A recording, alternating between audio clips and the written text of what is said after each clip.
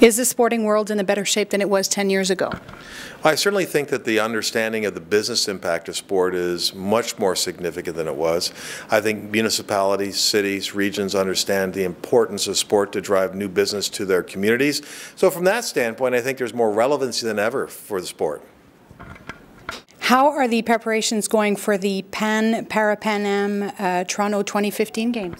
No, we're right on track to deliver a great event in July 2015. We're starting construction in all our buildings in uh, the summer to the fall of 2012.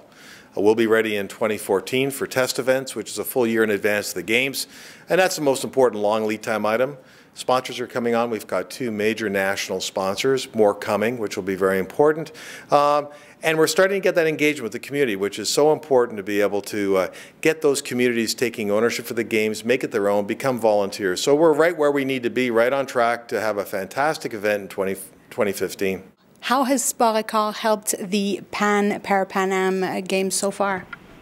Well, it certainly helps you understand this, the, the size of the business opportunity related to sport. It gives us a chance to talk to potential suppliers.